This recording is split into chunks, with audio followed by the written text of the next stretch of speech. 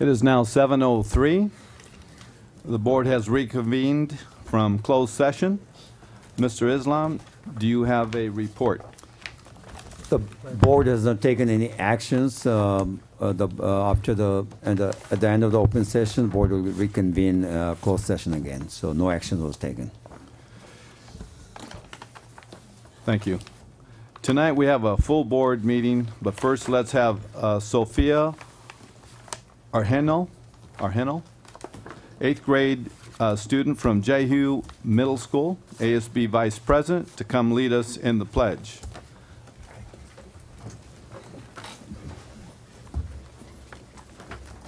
Good evening. Please put your right hand over your heart. Ready? Begin. I pledge allegiance to the flag of the United States of America and to the republic for which it stands, one nation, under God, indivisible, with liberty and justice for all. Thank you. You may be seated. Thank you, Sophia.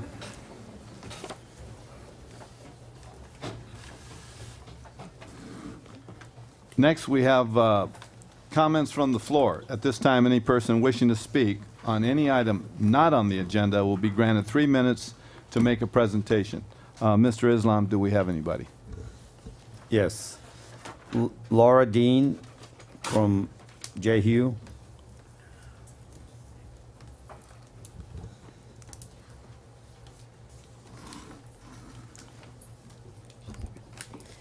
Good evening, board members, parents, guardians, and fellow staff members.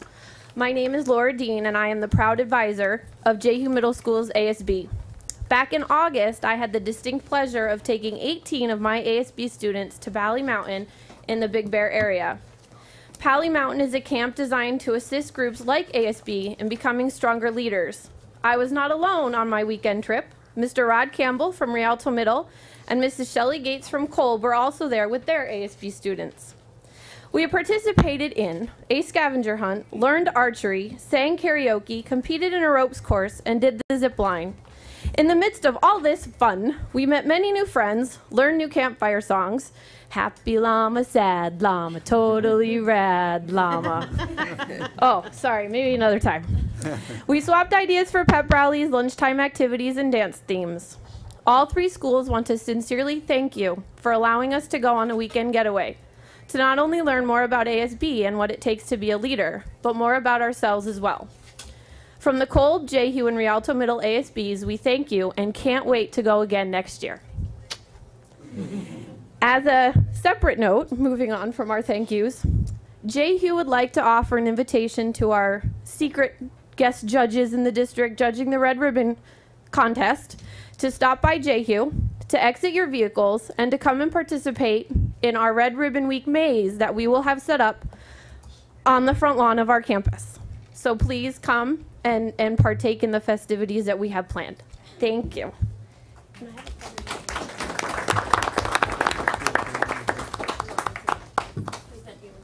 Thank you very much for letting us go. thank you for your presentation.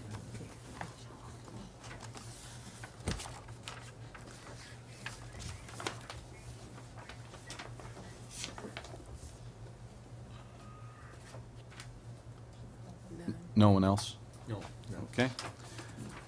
Next, we have uh, comments on the agenda items. Any person wishing to speak on any item on the agenda will be granted three minutes to make a presentation. None. Okay? Next, we have presentations, uh, DSAC student uh, presentations, and usually our student board member, Micah, presents, and maybe Saida, you can assist. Oh, I was gonna hand it to you. Okay. Um,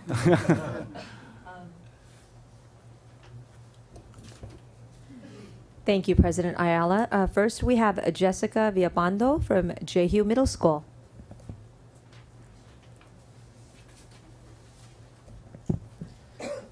Good evening, Honorable Board of Education, Acting Superintendent Mr. Islam, and the viewing audience. My name is Jessica Vilpando, current ASB historian, and in the spirit of October, it is a treat to be here tonight. ASB is currently selling ice cream after school for $1. Also, we are currently fundraising candy and chips. Want some? They're a dollar each. I kind of owe myself three dollars, but shh. Boo! Ah! Ee! Did I scare you? October 30th, ASB is having our Halloween dance, so make sure to come in your costumes and dancing shoes to dance the night away. It's only two hours, but it'll be a night to remember. Red Ribbon Week is right around the corner. We are all going to wear red shirts this Friday, the 25th, to support non bullying and being drug free. Our motto is A Healthy Me is Drug Free. Be sure to stop by Jehue next Tuesday, the 29th, and check out our Halloween drug free surprise. We intend to win first place and take home the Red Ribbon Trophy like last year. Mr. Islam, thank you for the $1,000 first place prize money. You can just write the second check for us now. Be sure to vote Jehue. Whoop whoop! In DSAC, thank you, Mr. John Roach, for the team building activity at our last DSAC meeting. It's nice to know that we can do more with yarn than just knit. That's all from Jehue. Thank you and have a great evening.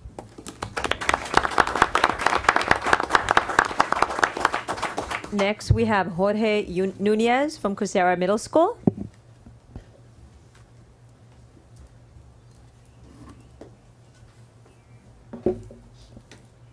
Good evening, honor- Good evening, Honorary Board of Education, Acting Superintendent Mr. Islam, and viewing audience. My name is Jorge Nunez, and I am the ASB president at Kucera Middle School. October has been an eventful month for Kucera's student body. The 12th, our AVID program took 6th, 7th, and 8th graders to a UCLA football game. Go Bruins! The 14th, a meeting was held in order to inform parents about a student trip to Washington, D.C. that will be offered by World Strides in June of 2014. Do you want to go, Mr. Islam? the 16th, we had a family math night, which was done to help improve student math skills. This week, we began to decorate the campus for Red Ribbon Week to show that Kucera is drug free. And also, on that note, Kucera wants to take the trophy for Red Ribbon Week. And the 24th, we will have our Red Ribbon Week assembly, which is called Dream Dare Do. Later that day, we Kucera will host a student dance called the Glow Dance. In order to honor Kucera students with perfect attendance, on the 25th, we will be hosting another dance specifically for them during sixth period. On November 1st, Kucera will be hosting their Breakfast of Champions to honor the students that will be that followed October's character trait, which is safety. Our football team won one game and will be playing in the semi championships. And our volleyball team is excited to be playing the championship game this Saturday, October 26th.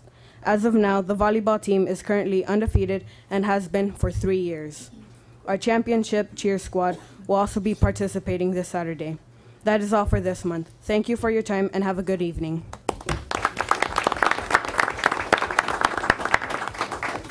From Frisbie Middle School, Jordan Dixon. Good evening, members of the board, school district, and parents. I am Jordan Dixon, ASB representative for Frisbie Middle School. ASB is off to an amazing start this school year, with the return of Falcon Radio and our school-wide fundraiser in full effect. We are sure that our ASB program is going to have a successful year. Our school-wide fundraiser has launched September 10th and was held for exactly one month. We so far have ordered and distributed over 400 cases of chocolate. That's a lot of chocolate. Students ha- that have participated have the chance of earning a trip to Knott's Berry Farm and a trip to Disneyland. We have definitely we definitely have a lot of students interested in these fantastic school-wide field trips. We will also participate next week in the nationwide Red Ribbon Red Ribbon Week. We will work in conjunction with the PE department and decorate our school to make every student aware that FMS is drug-free. We will have Camfell Productions out here next week speaking of the importance of being drug free and a bully free school and demonstrating how to live a healthy, Drug Free Life can help you achieve your dreams and goals. Thank you for your consideration. This is all the information we have for ASB now. Do you have any questions? Thank you. Thank you. Thank you. From Kolb Middle School, we have Richard Acosta.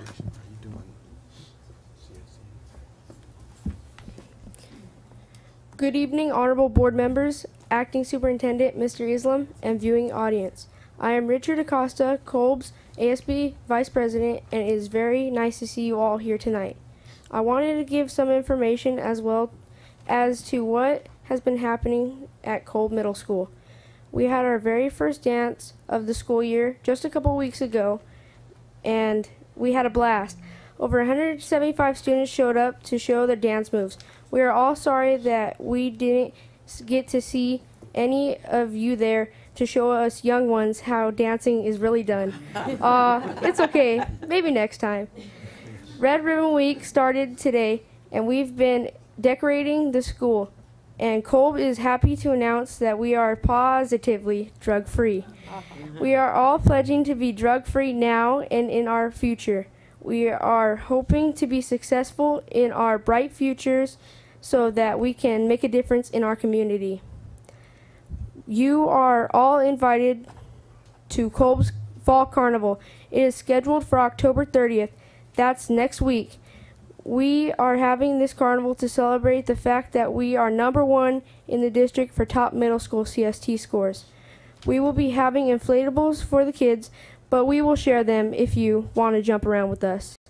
Kona Ice will be there, and the In N Out burger truck. Mmm, yum.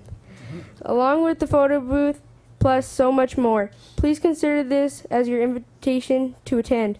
In fact, everyone is invited to come out and share the festivities. It uh, it will be fun, and if you bring can a canned food item to help our canned food drive, you will receive a discount to the fund. That's it for me for now. Well, until next time, have a great night and thanks for your time.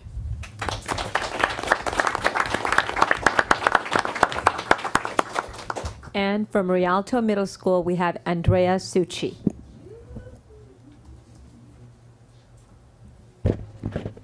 Good evening, Honorable Board of Education, Acting Superintendent Mr. Islam, and our viewing audience.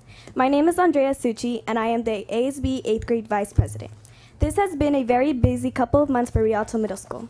We have received our API scores, and although they were not as high as we expected, there were still many shining lights among them. Our carnival on November 8th will be to celebrate those students who were proficient or grew and to prepare for our road ahead. Avid hosted a family night October 10th with Anthony the Magic, where dinner and a show were included for the admission price. They had over 300 family members in attendance. Our ASB attended a middle school leadership conference hosted by Rialto High School, where they mentored us on what leadership is and how to make your campus come alive with spirit. It was great working with the other middle schools that day, and the high school students were terrific. We hosted a very successful Farmer Boys Night to raise funds for our counselors and their incentive programs in conjunction with Kolb Middle School. We have hosted two energetic dances with over 200 in attendance at each. Our next dance, called Chamber of Screams, will be on October 30th from 3 to 4:30. You're welcome to come if you dare. This week is Spirit Week, so grab your hats and giddy on up because tomorrow's Westerday. Yeehaw! Just last weekend, our boys flag football team continued their suce- success with the third complete season undefeated, with the win over the Falcons of Frisbie. And on Saturday, the 26th, cheerleading, volleyball, and football will be fighting for first place. Thank you for your time and have a great evening.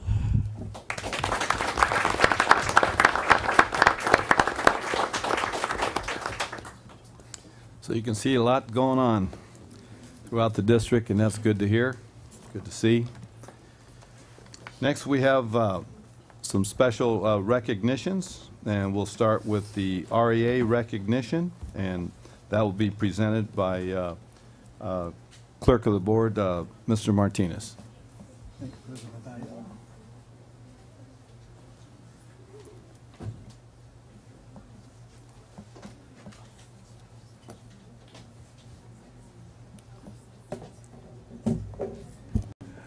Good evening to one and all.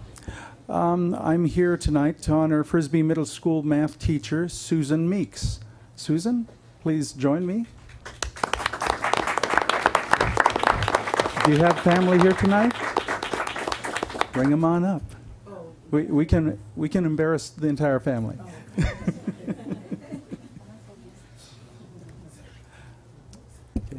Soon is, Susan is the Rialto Education Association's Employee of the Quarter. Quite an honor. Miss Meeks was born in Los Angeles and graduated from Gardena High School. She earned her teaching credential and her bachelor's degree from Cal State Los Angeles in child development. Before coming to work at the Rialto Unified School District in 1991, Miss Meeks also worked in Los Angeles, Riverside, and San Bernardino City Unified School Districts. In Rialto, I found, found my home. She smiled. I love working with the kids, and we as teachers learn from them as much as they learn from us. It's a dual relationship of respect and knowledge. Miss Meek's first job at the RUSD was teaching first grade at Henry Elementary School. She then transferred to Kelly Elementary for five years, teaching first and second grade. She transferred to Curtis Elementary for seven years, and then in 2005 started working as a math, algebra 1, and algebra 2 teacher at Frisbie Middle School for 7 and 8th grades. Um, yes, uh, vested interest from the principal.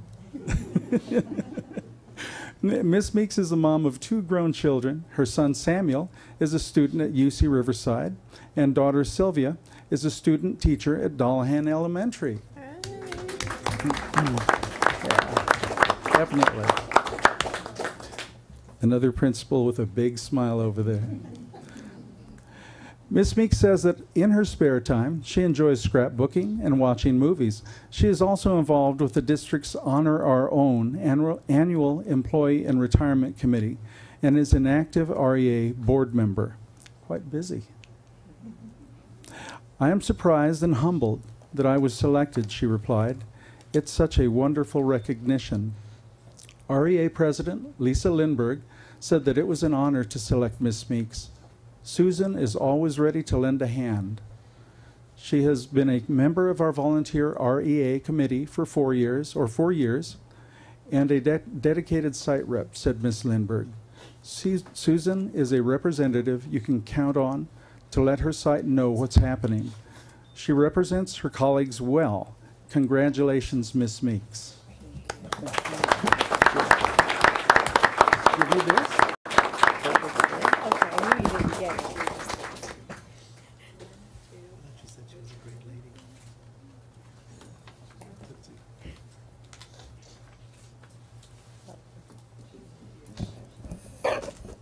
Thank you, President Ayala. Ms. Meeks, please shake the hand of the board.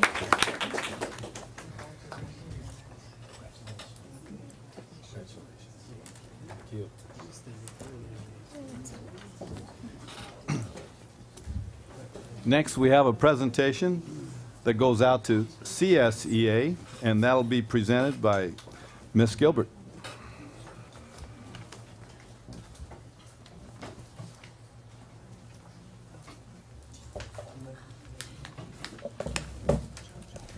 Good evening, everyone. Good evening. Tonight, we have the honor to present our Employee of the Quarter to Michael Harrison, Officer Michael Harrison. Where is he? Come on up. All right, Mar- Michael. A San Bernardino County native, the 41 year old officer grew up in Rialto.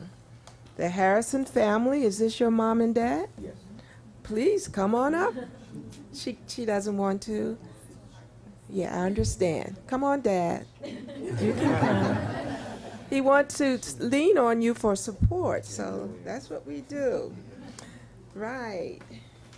And I want to say that Sharon, Michael's mother, retired as his secretary at Kolb, was it Kolb? Kolb Middle School. So congratulations on your retirement. Very nice, very nice. How many years did you work there? Eight years. So we thank you for your service to Rialto Unified School District. Father Lauren, this is Lauren, moved when the Harrison to Rialto when the Harrison boys were young. He has three younger brothers, Shane, Ryan, and Chad. The memories that I acquired, acquired growing up in our home were great. Any sport or childhood game, we all could come for, up pla we were played in our yard. That's during the time when children played outside and didn't watch games on or play video games. We would go swimming at our neighbors' homes that had pools. We played games there. Memories that I gained from my neighborhood would spill over into the community as I got involved with recreational sports. It was a great time with great family support. Officer Harrison attended Morgan. Any cheers for Morgan? Rialto, then Rialto, it used to be Rialto Junior High, now it's Rialto Middle School. And Eisenhower, he's an Eisenhower graduate. After graduation, Officer Harrison began working full time with his uncle at his book bindery business. Right away, I began having this desire to get into law enforcement, he remembered. I enjoy helping people who are in need and I always and I always have. I realized that I could do this for the rest of my life and be happy. And I decided that is what I wanted to do.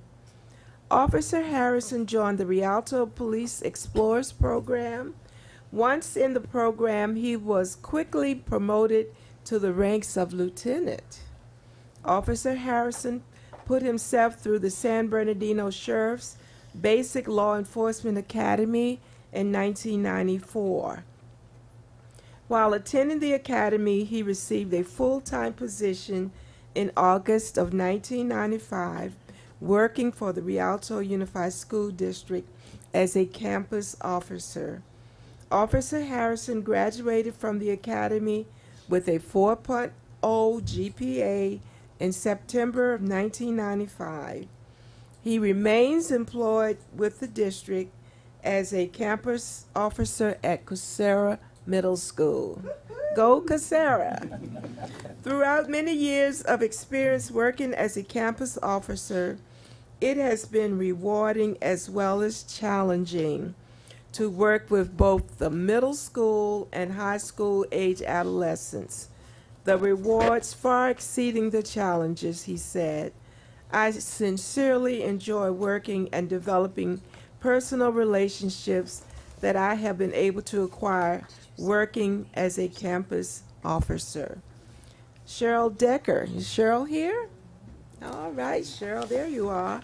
Rialto Chapter CSEA President said, from his biography, you can observe that Officer Harrison has had a passion to serve students, staff, and the education community. He is friendly and a caring man with a big heart, and he's always ready to assist with a moment's notice. On behalf of the Ed- Board of Education, congratulations to our CSEA Employee of the Quarter, Michael. And I want to shake Father's hand, and this is your certificate.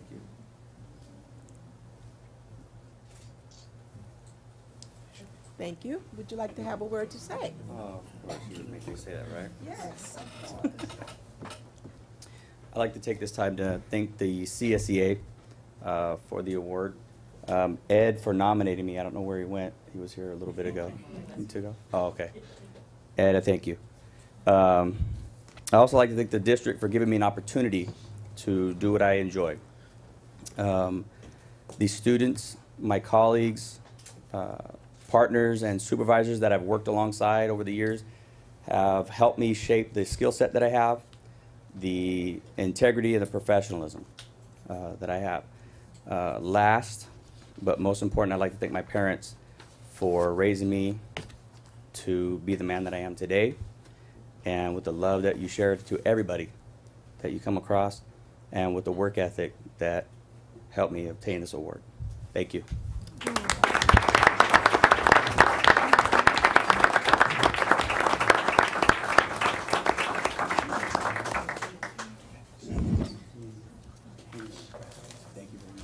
Thank you for the work you do, Mike. Congratulations.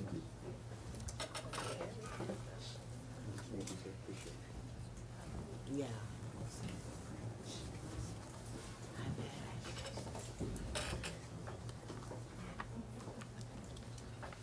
Next, for the award going out to RSMA, we have uh, Ms. O'Kelly presenting the award.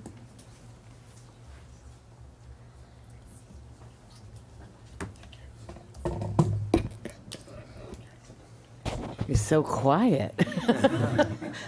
Whoa. I probably don't even need those. Okay, well, tonight it gives me great pride to uh, present the RSMA, Rialto School Managers Association's Employee of the Quarter Award to the one and only Mrs. Robin McIver Brown. Come on down.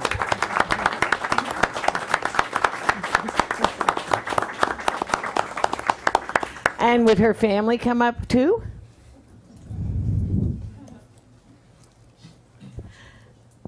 Okay, Mrs. Brown is the Senior Director of Categorical Programs and Services for the district. In other words, she's the money lady.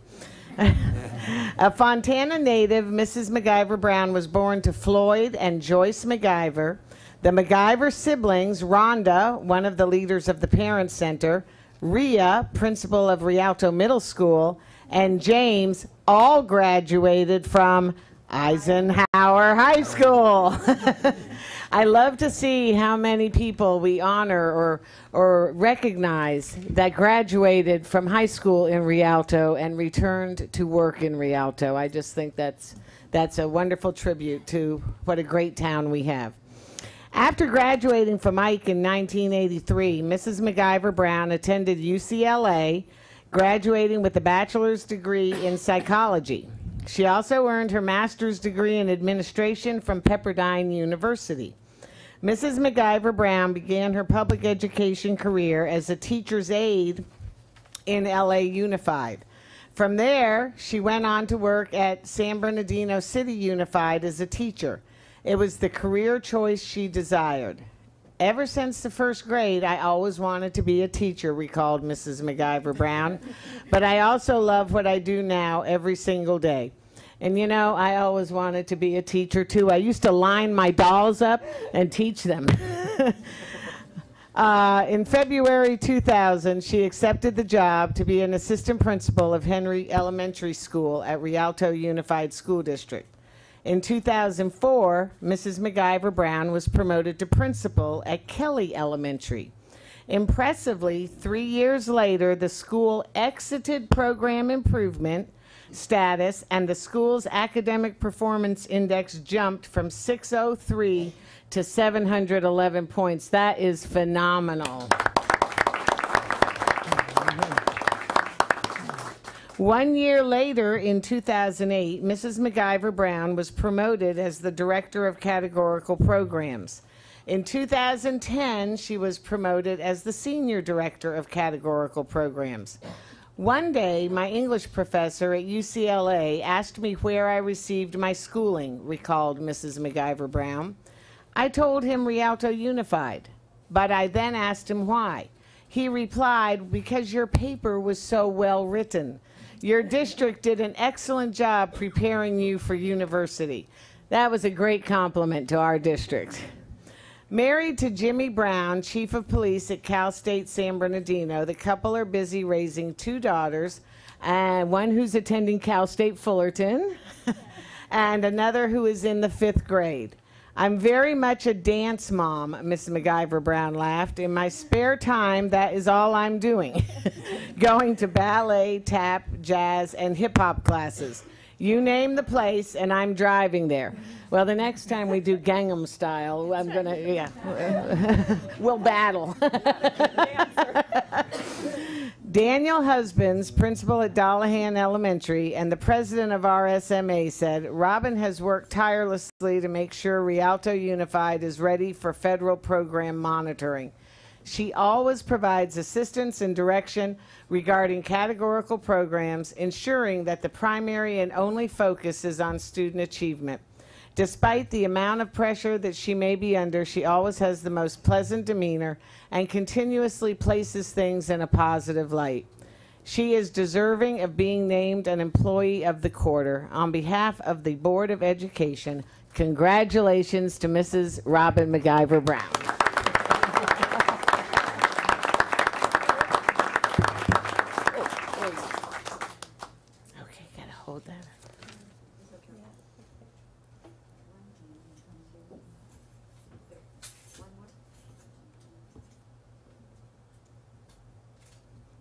Great, congratulations. It's quiet. It's very quiet again. Um, I just have to say a few words. Normally, when I get behind this desk, it's answering a question for the board, so I get a little nervous now. But uh, I just want to to thank everyone, um, all of the managers. Everyone is so deserving. We come to work and we love what we do. And I kind of like that remark, um, Dan, about a nice demeanor because I've been a little grouchy lately. I think I've been under federal program monitor pressure because next week is our week.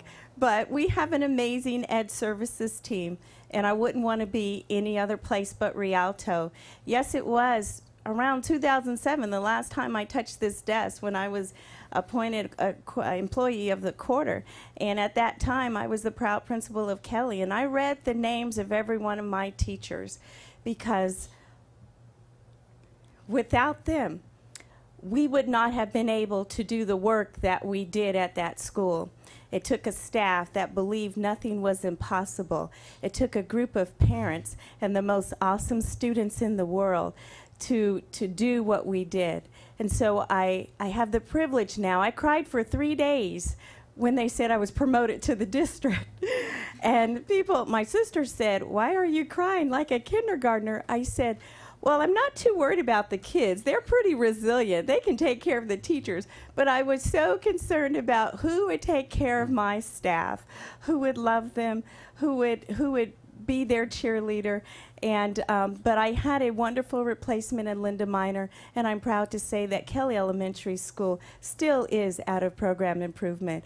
And so every time I come up, I will always remember that journey we took. I will always remember those teachers and those students and those wonderful parents. And just like um, the young man from CSEA, I have an awesome family. My husband fooled me because he took my daughter to dance. And I said, Well, that's okay. You're not going to make it back. Then lo and behold, I see him. He was in jeans and an old t shirt. and so he made it. Um, and my, my daughter is here. Um, uh, she's in Cal State Fullerton, and I love her because I was the person who gave her her first memorable words. Mommy, pick me up. There's no one else here at school. I said, Oh, you are so wrong. There's always someone at school. The custodian is there. You are okay. and so, and then to my parents who, who travel wherever we come, near and far. Um, everything we do was like a family. They lived in this community for 43 years. Um, at one time, my mother wanted to move, but I guess that's that hope is over. They are where they are for 43 years, and and they have been strong supporters. And my oldest sister, who is running around somewhere, uh, I'm glad that I have the opportunity to work with both of my sister and Marianne. Coco, she may be somewhere running around here, but she has worked with all three McIver sisters and she's still sane and she comes to work. So I love her dearly because I don't know how many people can put up with all three of us.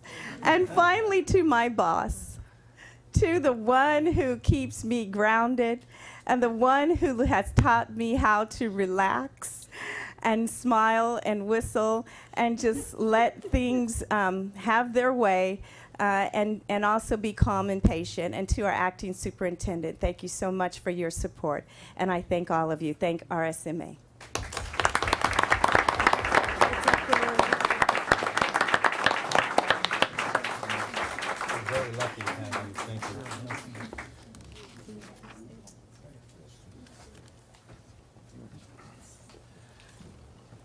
Next, we have a presentation of the Rialto Unified School District Common Core State Standards. Uh, The plan is going to be presented by Dr. Susan Levine, an Associate Superintendent, Educational Services. Are we sitting here or do you, are we going?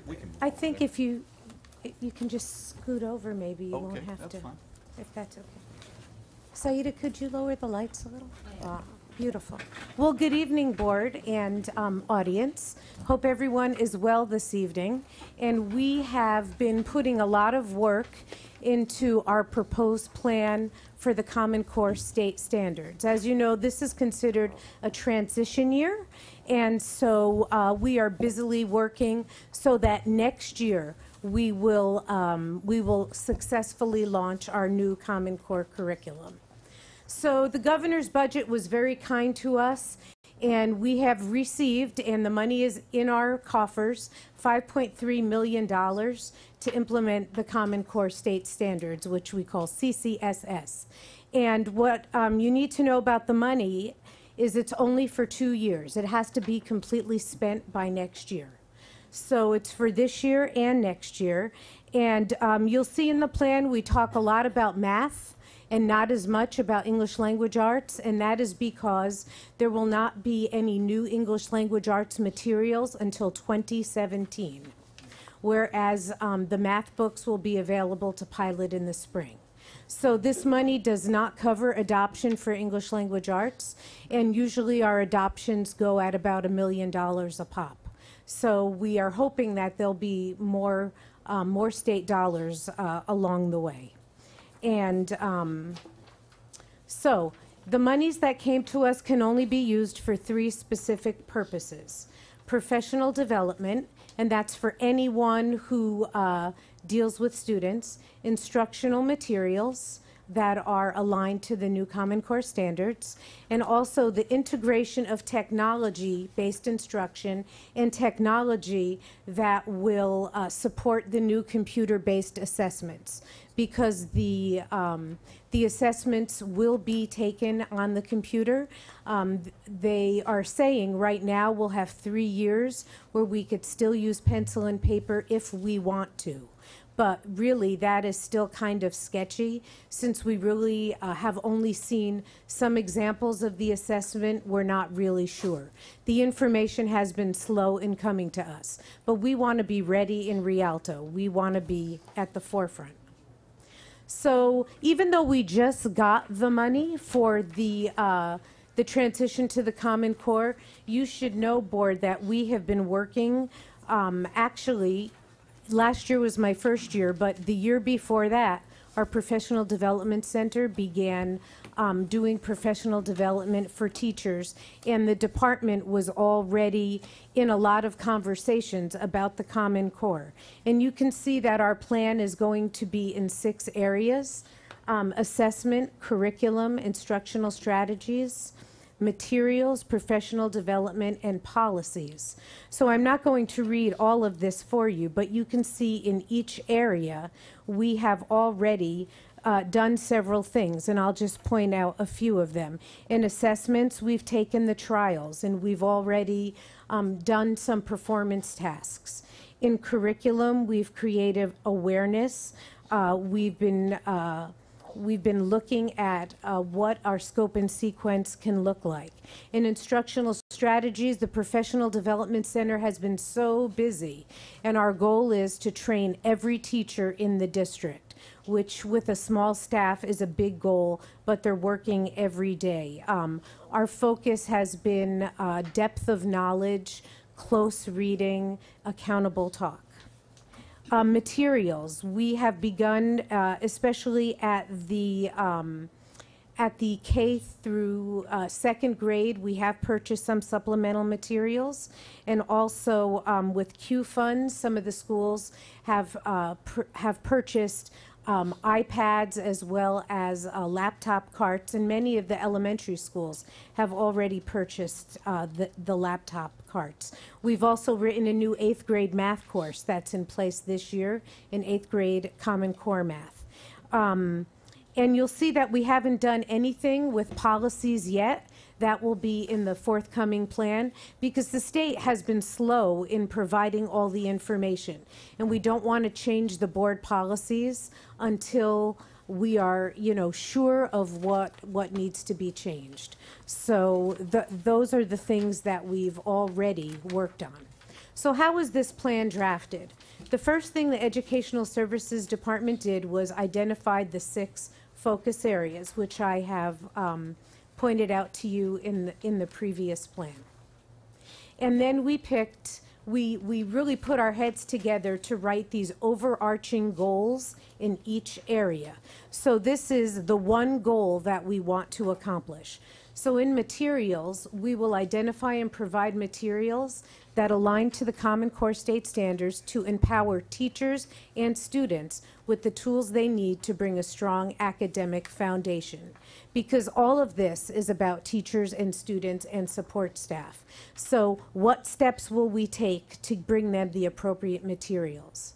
For instruction, we'll ensure that teachers utilize rigorous, research-based instruction based on the design principles within the Common Core state standards. So we need to make sure that all our teachers are trained. In curriculum, we will develop a viable curriculum for all students that is aligned to the Common Core. And the curriculum would be our scope and sequence, what they're going to learn, what the units will look like. For assessments, we'll identify, develop, and administer rigorous and relevant formal and informal Common Core state standards-based assessments through a variety of methods. So um, even though there will still be some multiple choice, there are other kinds of assessments in the Common Core. There will be some multiple choice, but there will also be what are called constructed responses. There'll be performance tasks. So we have to make sure that the students are practicing the kinds of assessments that they'll have on the new Smarter Balanced exams. Professional development will provide ongoing professional development to all staff in the transition towards full implementation in conjunction with our instructional priorities.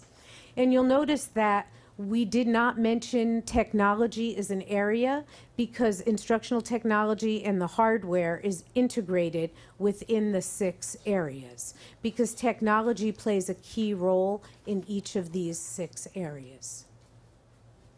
Um, so you'll notice that in your packet board, you have a, a spreadsheet.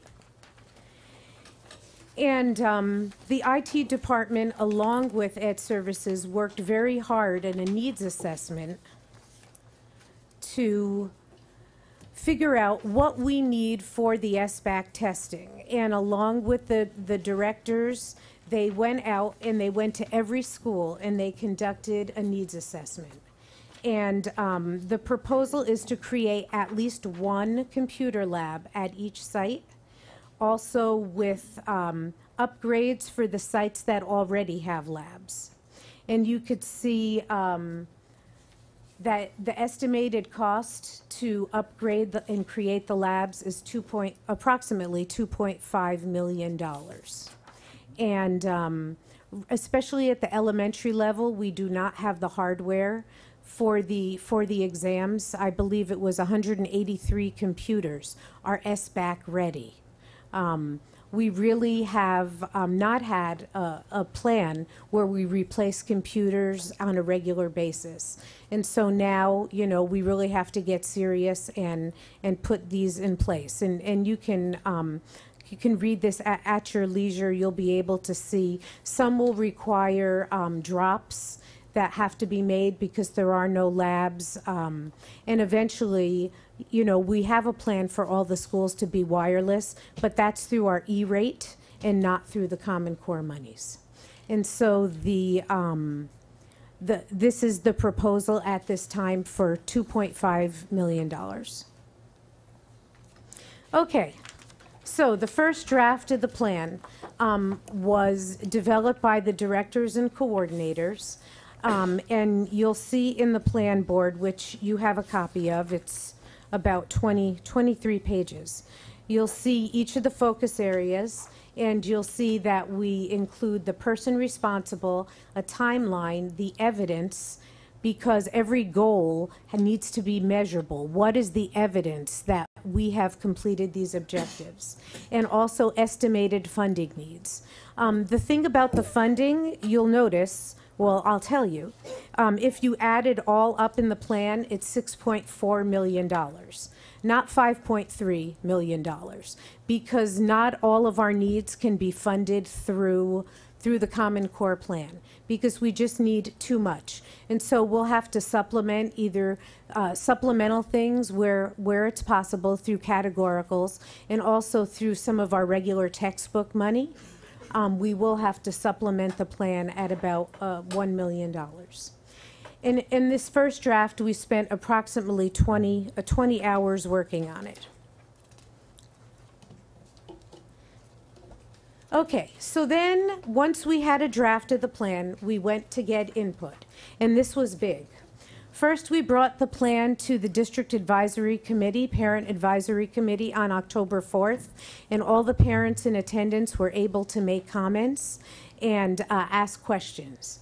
Then on October 11th, that was challenging because we had to have everything translated into Spanish, but it was very neat because our DLAC parents had a lot of very good questions and comments to guide the Ed Services Department. At that point, every classified and certificated employee received the draft copy of the plan. And they were um, invited to the gallery walk on October 15th.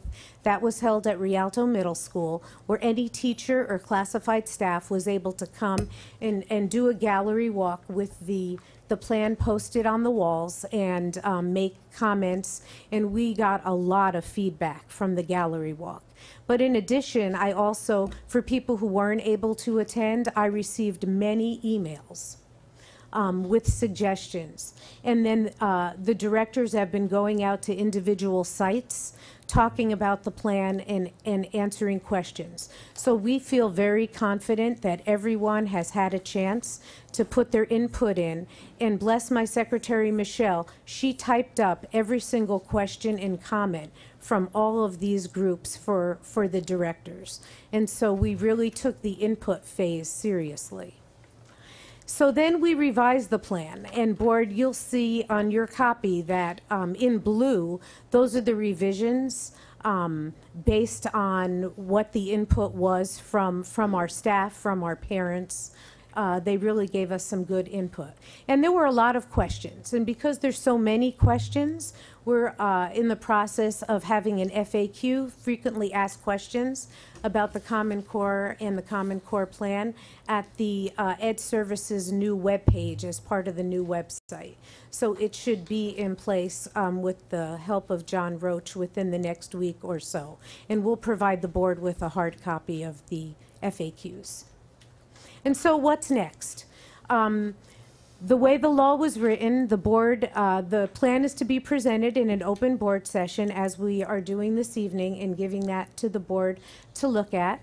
And of course, um, as you read it, if you have questions, feel free to contact Mr. Islam and he'll direct the, how you would get the answer from him, from me, from one of my staff.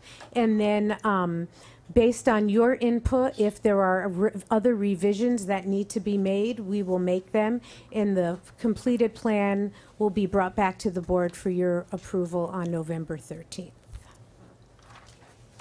What questions can I answer?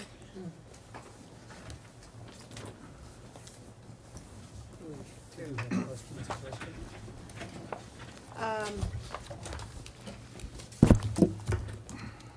With the two point five million, uh, referring to the, the lab upgrades and things like that, is that also including the laptop carts that are gonna have to be purchased for most? No, that does not include the laptop carts. This is only to configure a lab, a stationary lab. So the schools can buy laptop carts out of their, out of their funding that they have. Uh, many buy one a year. I was just talking to Kathy Knowles from Myers. I believe she has four, four carts.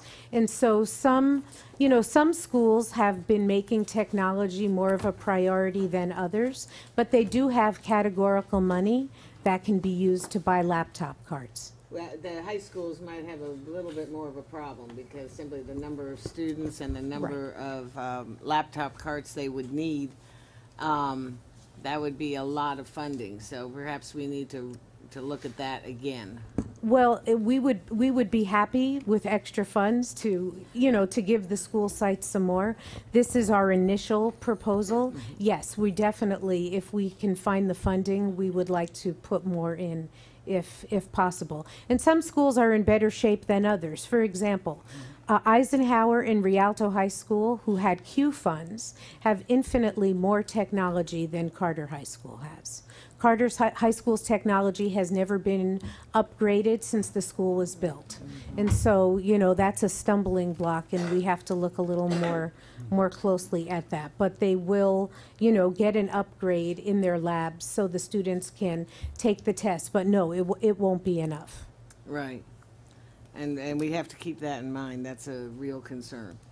Um, uh, next question. With the um, math in particular, I've, I've been hearing from some teachers, they're a little distressed that we don't seem to have decided yet as a district, uh, or are you meeting with groups of math teachers to get their input on whether we're going to stay traditional or go with integrated math? Because especially if we're trans- transitioning to integrated math, that there's a lot of things that go along with that. Absolutely. Yes. Um, Andy Luna is going to be presenting to the principals at our professional learning network, and from there, they're going to invite the math teachers in for a conversation to look at, at pros and cons. Um, this morning at our department meeting, uh, Ed D'Souza had a chart, and it looks like many of the districts have chosen transitional um, in our in our area. Um, Fontana, Chaffey, You mean traditional? Tradi- no, I'm sorry, integrated. I'm still thinking about transitional plan, thank you. Um, they've chosen integrated.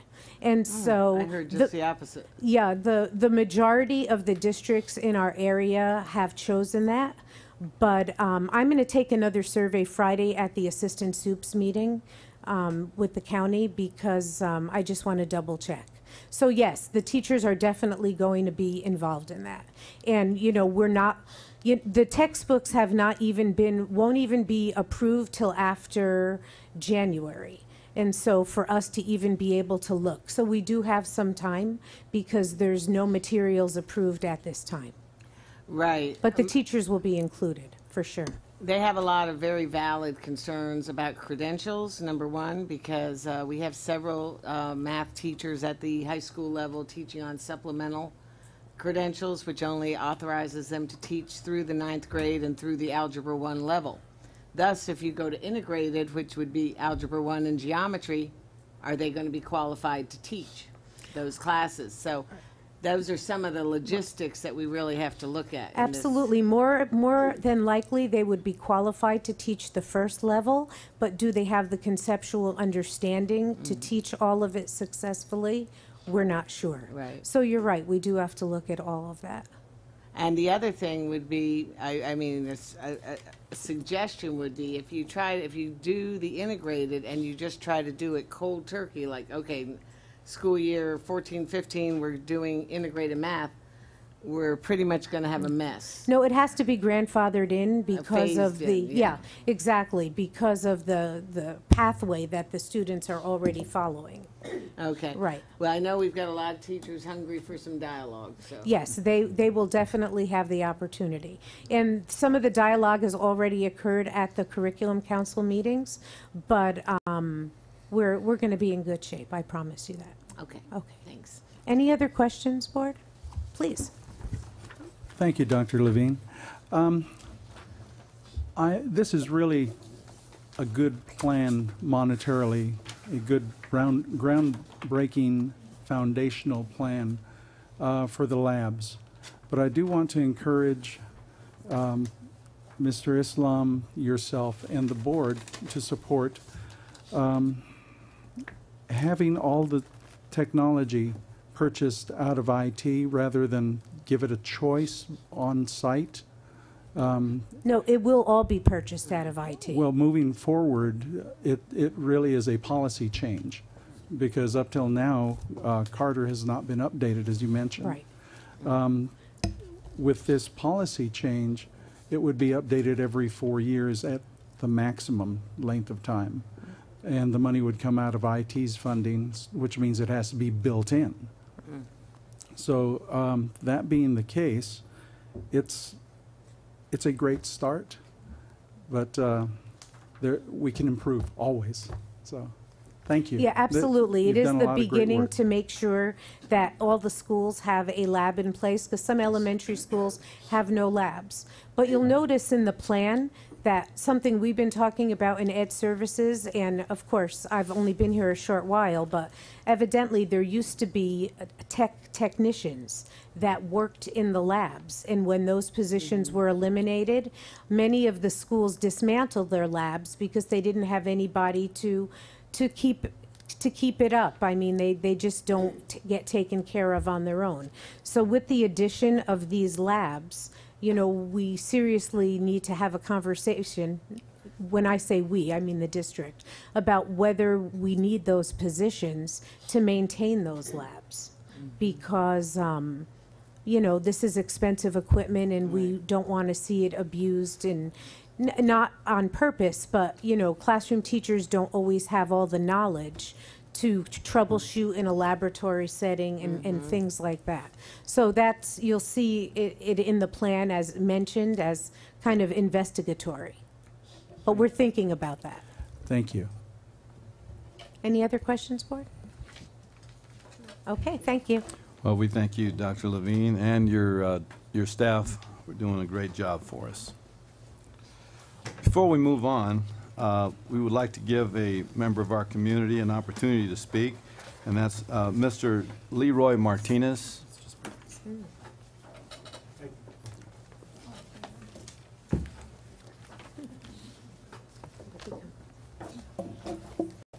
Hi, thank you very much for allowing me to speak. Uh, I came here to uh, voice some concerns regarding the recent developments uh, on the Judy Oaks case. And uh, uh, basically, my biggest concern here is not the money, it's not the superintendent, it's not all any of these. It's basically one group that I'm here for, the kids.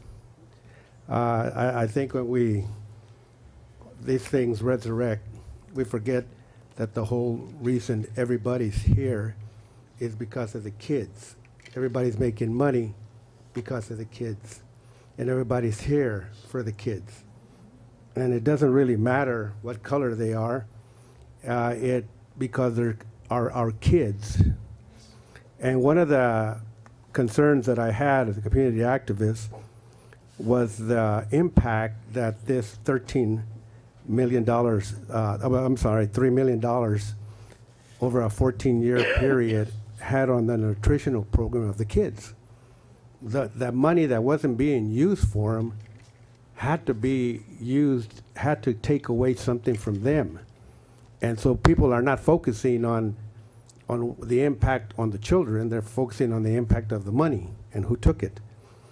Uh, and I think to, to add to this is that the superintendent, I was hoping, was going to step up to the plate and work and find out how that problem could be remedied. But it wasn't. Uh, instead, uh, he spent his time uh, fighting allegations of a romantic affair with uh, uh, Ms. Oaks and charging board members with having a racist campaign, which doesn't help the issue. It doesn't help the kids. In, in fact, it, it, it detracts from the issue because he's, he's defending himself on one end uh, regarding a relationship and he's attacking board members on the other end. Uh, for, and and uh, what makes it worse is that, and one of the other reasons that I'm here is that he uh, alluded to the fact that it was a, a racist agenda and uh, included uh, uh, not only our Edgar Montes, but O'Kelly, who doesn't look Hispanic to me, but that as, as being part of this Mexican American conspiracy. So uh, I'm here to say that that this superintendent had had issues in Lynwood Unified. I'm not going to get into it, but he was dismissed. He had issues in Compton Unified, and he was asked to resign. S and and then he was picked up by Rialto. What happened there? Why? What? what uh, and I think the other problem is is, is the fact that. Uh, the money that the, he's getting more money than the state superintendent of public schools in, in San Bernardino is getting something like three hundred and eighty thousand. And what bothers me is that he's retired. And I think that talks to another issue of superintendents, that why are we paying so much money for superintendents that are retired? Uh, And I think, uh, I think in the final analysis, what we need to do is focus, and we see the kids that were right here, on them. And we focus on what they, what, what, what was done to them by these folks and what can be done to alleviate it. But if we get into this thing about uh, accusing people of, of having agendas, racist agendas, and splitting us, pitting, pitting us against each other, we're not going to get anything done. This is for the kids. We're here for the kids. We're not here for African Americans. We're not here for Mexican Americans. We're not here for anybody other than kids. And all that, that's, last time I looked, the kids here were all colors. So I guess I'm, I'm here to say that I was very concerned that this issue, one, that the issue of the kids losing their nutritional program, and the other issue was that it was starting to become a racist agenda uh, that has no place in Rialto Unified. Thank you very much.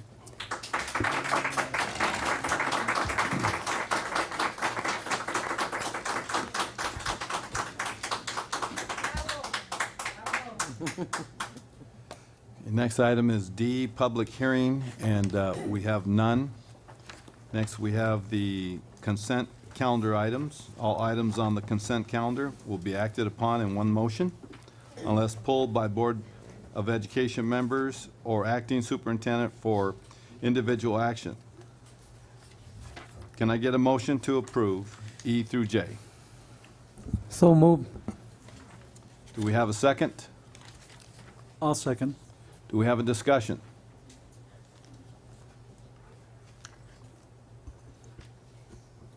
Oh, are there any? No polls? discussion? I just had polls? a- a question on um, H uh, three. Okay.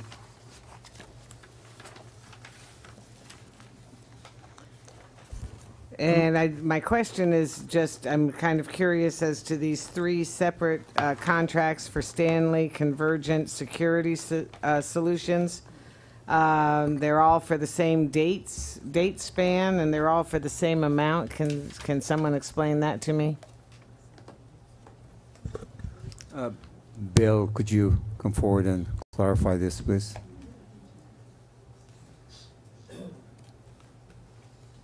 Good evening, Board. Um, These uh, particular contracts are for software, they're also for uh, equipment, and they're for service for our Stanley uh, Sonitrol security alarm system throughout the district. We had an upgrade on all of our equipment recently. These contracts were all entered into. The problem was, is when they were first entered into back on uh, August 22nd, there was a, there was a mistake, an error in the amount of money that they were, uh, that was being charged, that was being charged to us. So I was able to catch this and actually reduce the amount of money per contract over the five-year period. So it saved us about twenty-eight thousand over the five-year period per each contract. Nice. So, How come there's three for the exact same amount? That it just seems a little odd. Yeah, that, it's a franchise deal. So Sonitrol is a franchise. Okay. And they have specific contracts for their software, which is proprietary. And then they have also their, um, it, it's their software, and then their equipment is proprietary also. So you have to have a contract for each one. Okay. But I'm it's- not, I'm it's- not trying to put you on the spot here, but I've just noticed since I've been on the board, we seem to ratify a lot, or, I mean, in this case, apparently it's working in our favor. But it seems like, uh, when we enter into these contracts, shouldn't the people we're dealing with know what their costs are gonna be, and we stick to that price? Because Yeah, Many it- times it's been ratify this, and it's usually adding more money. Yeah, this is actually an amendment to the original contract, which we caught the error and reduced the amount of money they were trying to charge us. Okay. Uh, it's always a good thing when you guys reduce the amount Right, of the yes. contract as opposed to increase it. So thank you. Right. uh, Those are Mr. the only ones you're allowed to bring us anymore. There you go. I, I just, I just, I just had one, one Sure. more, just, just for clarification. Uh-huh. Fund 21 is That's Measure Y. okay. That's the bond fund. Mhm. It's a bond fund. Why is the bond being used to pay for Sonitrol? That was, that was in the original bond resolution to pay for the upgrade. For security, for, for security, For yeah. so security and for- surveillance systems. Yeah, and, and, and, and I think it's important, you know, um, if it curbs the copper theft and, you know, and any vandalism and. Yeah, and that was in the original yeah. bond resolution. I, I- we got to protect the schools. Okay? Very good? Yeah. Okay. Thank you. Thanks, Bill. Any other discussions? Any pulls? Okay. We have a first and a second. Can we get a vote from board members? Aye. Aye. Motion carries E through J. Next, we have uh, discussion action items. Action items will be enacted in one motion unless members of the Board of Education re- request specific items to be discussed.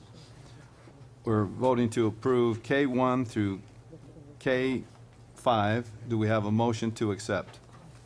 So moved. Okay, do we have a second? Second. And I have a pull on number four, K4. Okay. Pull, any other pulls? Okay, discussion? Well, this might be a question for Bill again. Uh, I'd like to know why we have a disputed claim in the amount of $1,460,000. This goes along with what I just said, so, um,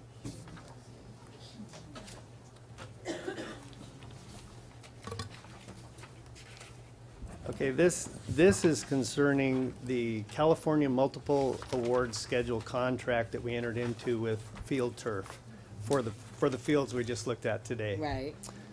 Uh, We had a, we had a lease leaseback project that was with Neff Construction, who was the general contractor basically over the whole project. They provided bonds, performance bonds for field turf. Well, when we got down to the fact of the, the California uh, Multiple Award Schedule contract being paid, the uh, county schools said that they, they exceeded the amount of money uh, on the portion of the, the installation was exceeded ten percent of the total cost. And so what the, what happened was, is we, the, the bonds that, that Neff covered for them wouldn't, wouldn't, uh, wouldn't fly, basically, because we exceeded the ten percent, um, total labor in that, in that contract. Now. But isn't that the fault of the contractor? Well, it, it, it, it's, it's part of the, the, the CMAS system says that you can, you can't exceed ten percent incidental labor. And so that was the, that was the issue. So there was an issue because that was the, uh, probably the first lease leaseback contract we did.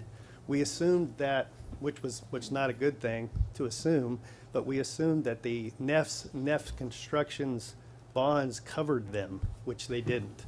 And so when we went to, uh, we went to county to pay this, uh, county, um, um, schools, the school payables over there said that they had to have their own bond. Well, they can't now, it's done, the job is done. And so we got a, we got a, um, opinion from Carol Green at county counsel, and she said that you have to go this route by bringing in a resolution to you to file for a disputed claim, because they can't go back and get a bond for a project they've already finished. So basically, that's why we're bringing this to you. So this is, but we're authorizing to pay these people one and a half million dollars. That's what it says. For the project that they did, that they've already completed.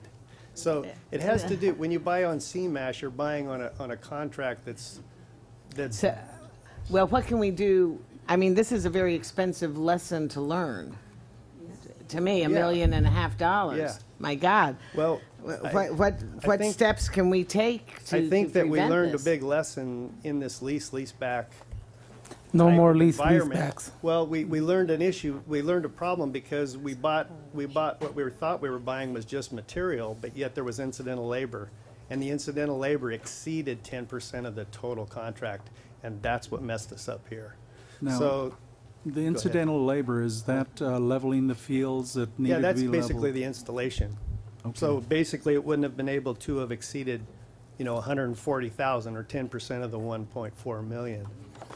So that's, that was, that was kind of a, a very unique situation because instead of, because we got an ex- exceptional cost, price on that by buying at CMAS.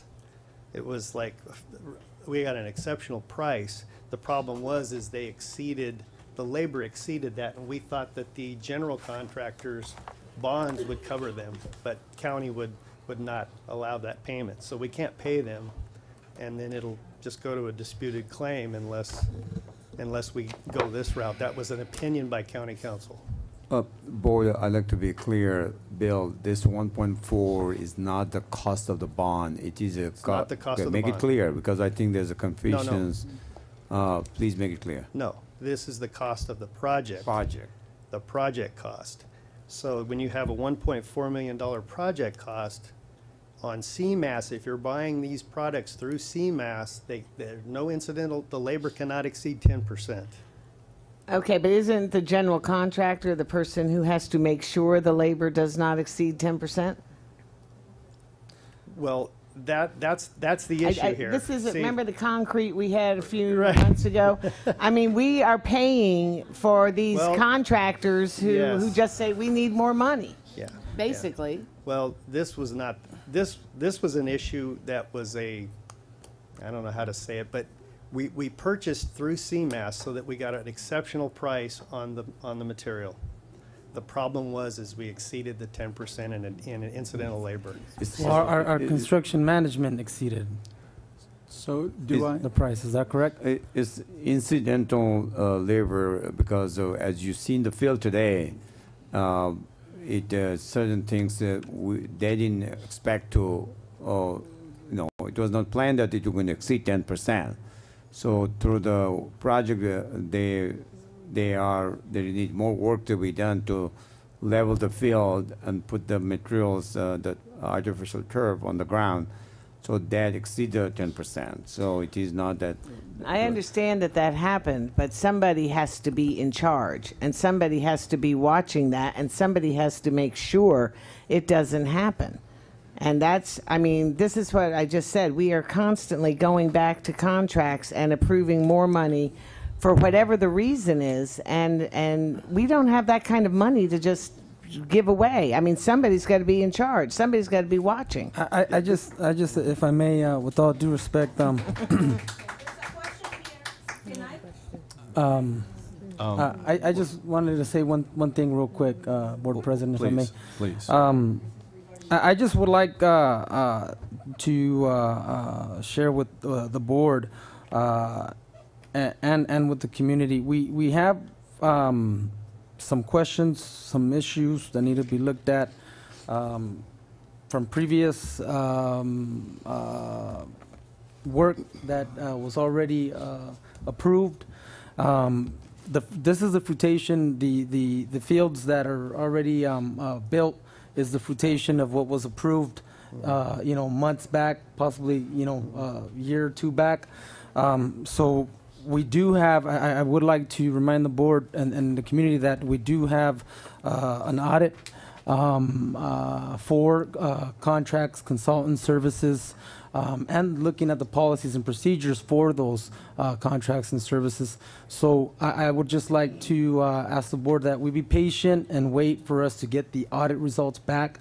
That way, um, you know, we can uh, collectively look at um, whether we need to uh, revamp our policies, our procedures, and, and maybe whether we need to uh, relook at who we're doing business with and who's providing the services for our district, particularly, um, uh, uh, you know, our Measure Y funds, because, um, you know, as, as we were on the tour today, we said, well, thank, thank God that, thank God these are beautiful fields, but Well, and then I think Nancy said, well, we need to thank the voters because the voters are the ones that passed the Measure Y. Mhm. Um, so we owe it to the to to uh, all the people um, in our community and, and the taxpayers to make sure that we're doing our due diligence uh, uh, uh, for these funds and how we're, we're using these funds. So I I can understand Mrs. O'Kelly's frustration. Um, I I agree. And um, and uh, uh, sorry, uh, Bill. f- You know we don't mean to put you on the spot with the questions, but um, I think not just with this case, but previous cases is Sure. part of the reason what led up to us wanting to audit and take a look at all of our services.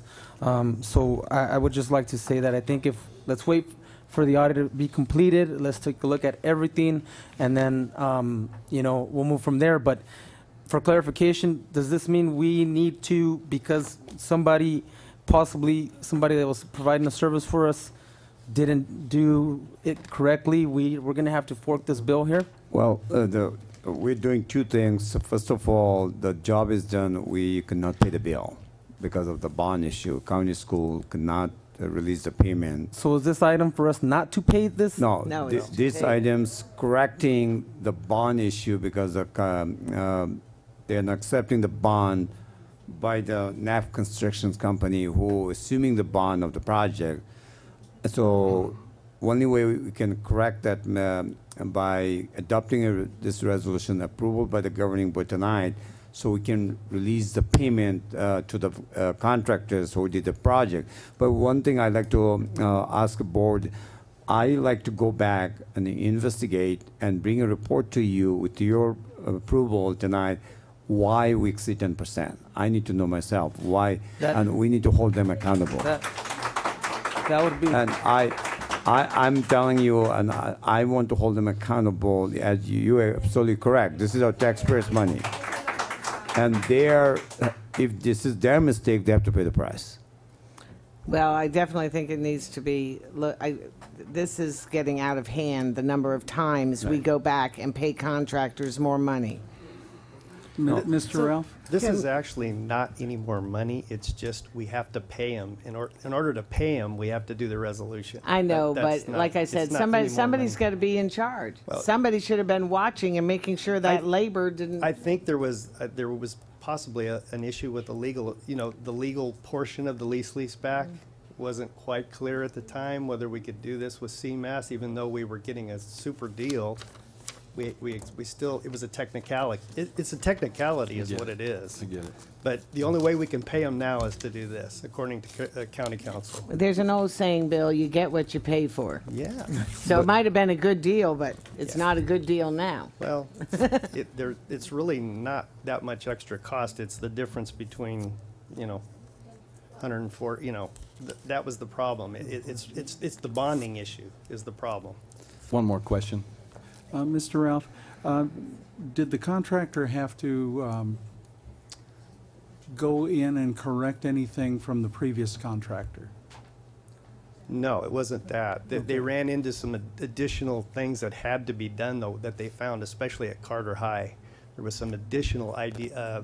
Things that they ran into, electrical lines and things that they had to regrade. And so, I mean, it wasn't, it was a normal change order. It wasn't really a change order, but it was a thing that it cost a little bit more to finish up. But we did exceed the ten percent, of, you know, uh, incidental labor. Okay, so we, we got a great deal, help me understand, on the whole package, including labor? Mhm. Or was it only on the turf and labor is No, on it- a sliding? th- this is the whole, it's the whole whole project. package. It just exceeded the ten percent of the total cost, project cost.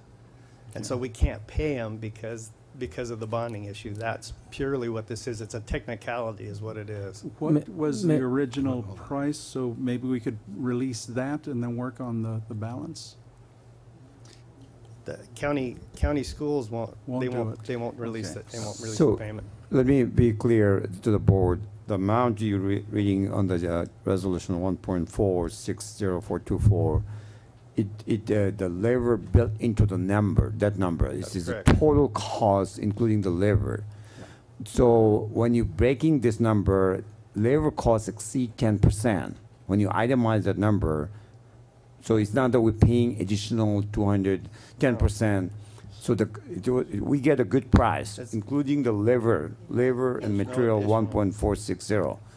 Now, when, when county school reviewed the breakdown, they say you exceed ten percent your labor. By how much? Is, um, hundred, little over hundred thousand, correct? Twenty percent, yeah.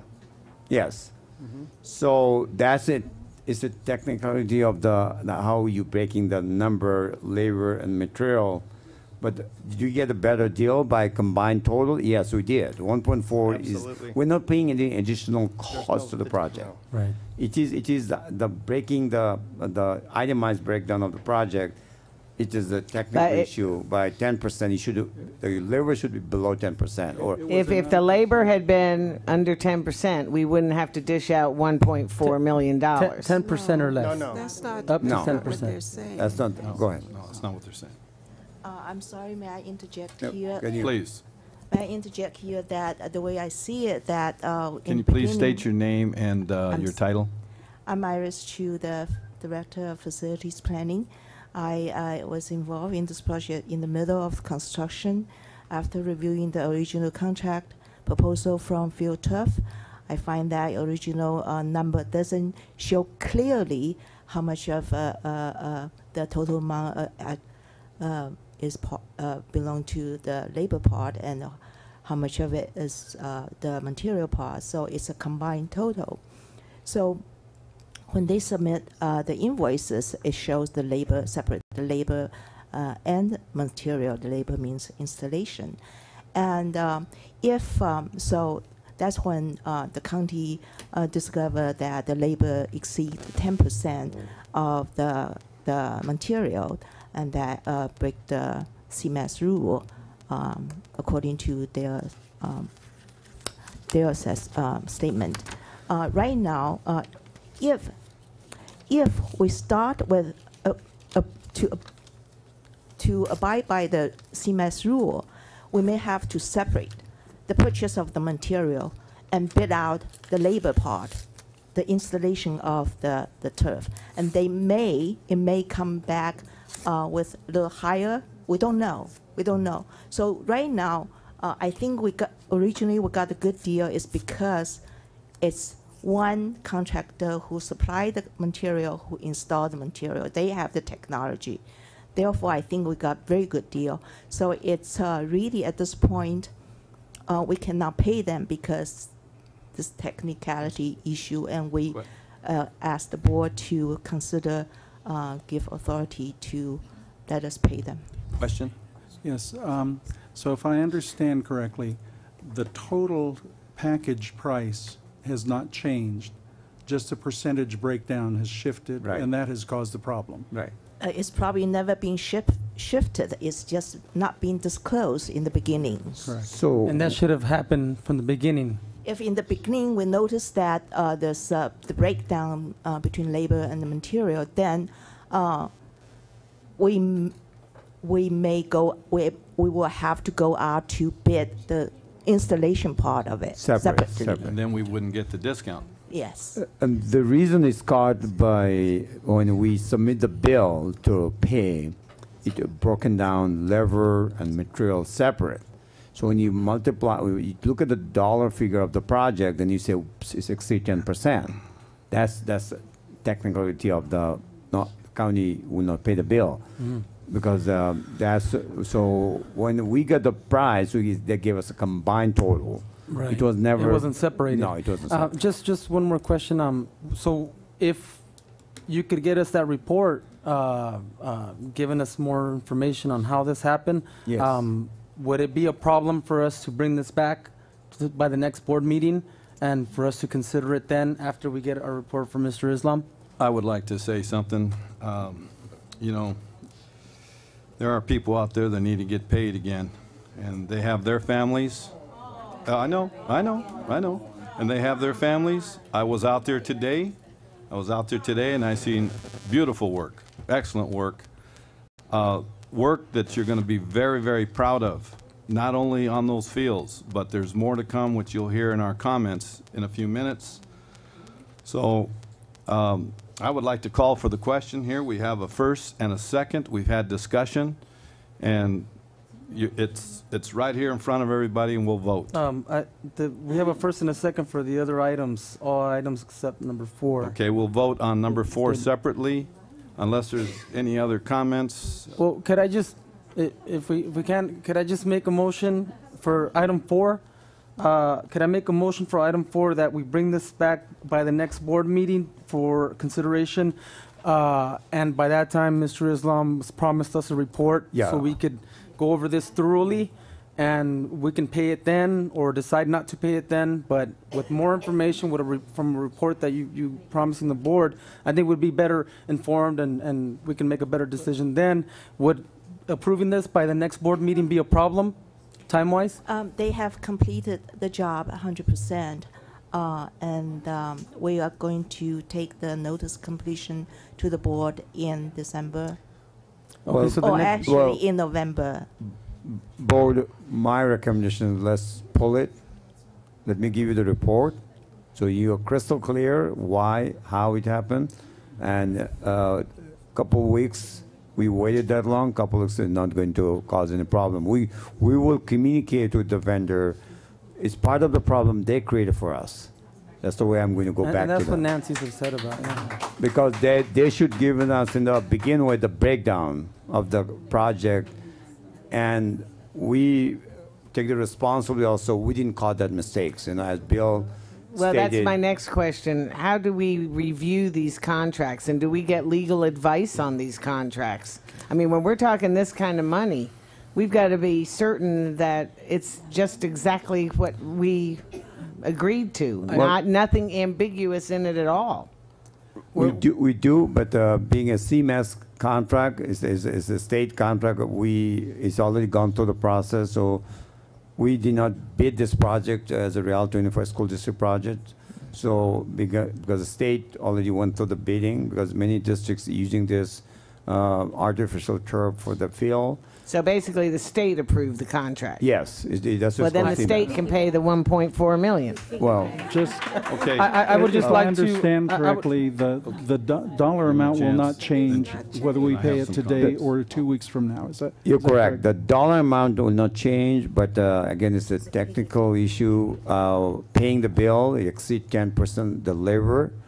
So my um, recommendation to the board, uh, let's uh, be clear, so before you act on it, so we will bring back at the next board meeting. It wouldn't, it wouldn't bother anyone for us to bring it back. to The only, We uh, have to vote on that. only consequence of this, the vendor has to wait, you know, Okay. another couple of weeks. And there's a motion on the floor. We, we, we, we still have a, uh, we pulled four. Can we vote on One, two, one three. through, Three. one, two, three, five, and we'll come back to four?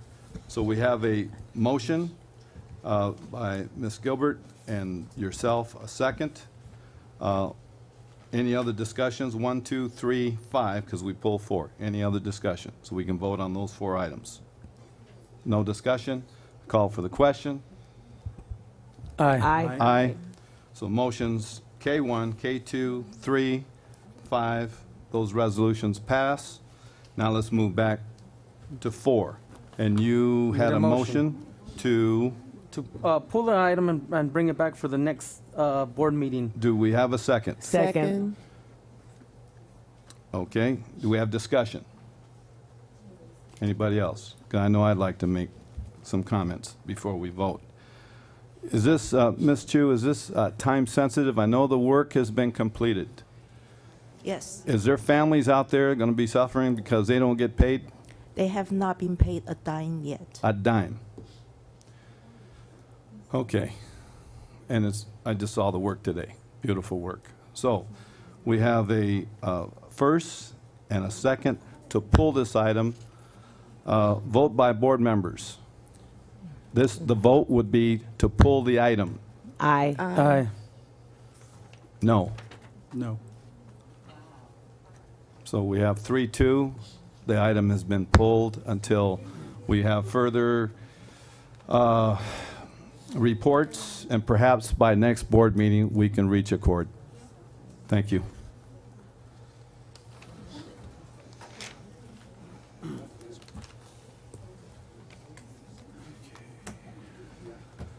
Okay. L. Comments from uh, Superintendent? Thank you, Mr. Ayala. Uh, we uh, just a reminder, we have an event this Friday, um, uh, October 25th. Uh, we have high school football games.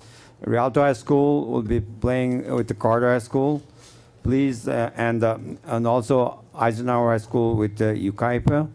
Please be there and support our students. It's a great event. The event will start at 7 p.m.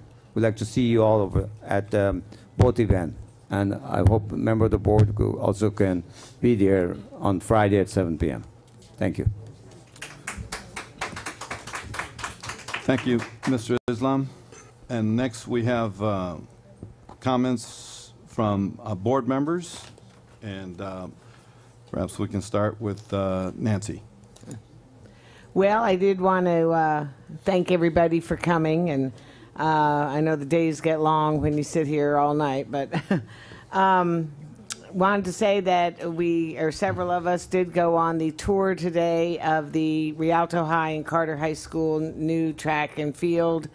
Uh, it's uh, they're absolutely gorgeous, and so you know my my complaint here, of course, is nothing personal, but I just have to stand up for what's right here. But um, if you have not seen the new track and field uh, arrangements at Carter High School and Rialto High School, please go to a game. I tell you, I, I could feel it. I was a high school principal and standing there. I just know what that does for the pride of the students attending those schools. I know that the more pride they have in their school and the better their school appearances, the better they perform academically.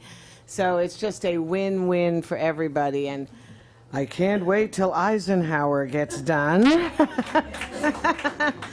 but that's coming soon, hopefully. Uh, we also went to see the Culinary Arts Academy and the Engineering Academy, which are housed at what used to be the old Rialto Middle School, which I literally almost took my breath away. The Culinary Academy is, is complete. We have equipment in there that they have in five star restaurants. It's absolutely beautiful, and I just cannot wait till it's full of students cooking delicious food for us, and I will be the first in line. The Engineering Academy, they're still pulling everything together, but the equipment they have and the possibilities, I mean, it just makes your, your the mind go wild with the possibilities that we have with those two academies and the great things we can do for our students. So it was a really exciting trip, and I'm very, very proud uh, that we have these facilities in our district. I also attended Eisenhower's homecoming game. Had a great time. They lost, but only by one point. However, at the halftime, after they named the king and queen and, and all the homecoming stuff, I thought it was very cool. They had um, had the kids vote online for the 20 most inspirational teachers, and they honored those 20 teachers at the game out on the field, and I thought that was just wonderful. And these teachers, you know, all of them were coming up to me. Some of them had tears in their eyes that they had been selected by their students for that, and I just thought that was wonderful. And I also attended the Parents Summit, and that was another great day. There was a large variety of uh, STEM workshops, which I was happy to see because they provided a lot of very valuable information to our parents. And now with the new Engineering Academy, it all goes together science, technology, engineering, and math, and hopefully we will uh, achieve great things. So thank you.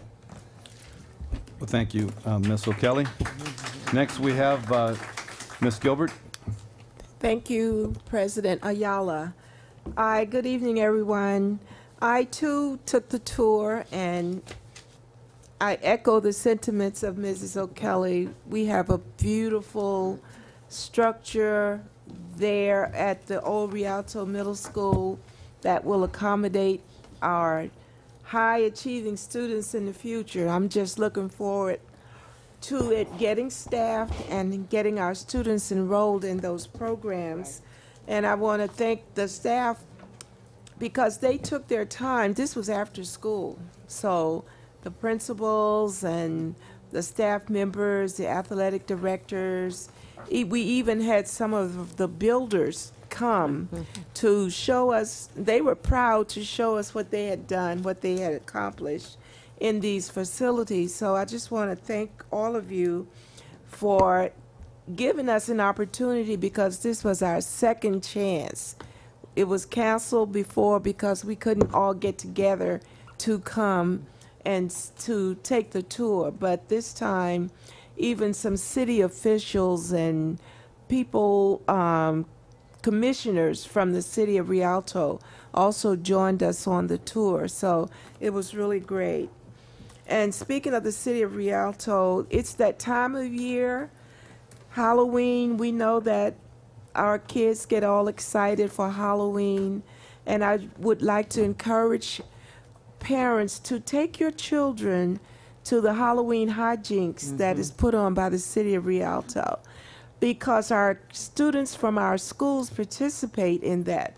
The various service clubs, key clubs, and uh, all the clubs from various middle and high schools take the opportunity to go downtown Rialto and be there to give trick or treats to our children so they won't have to walk through dark neighborhoods and suffer maybe some consequences of violence and so forth.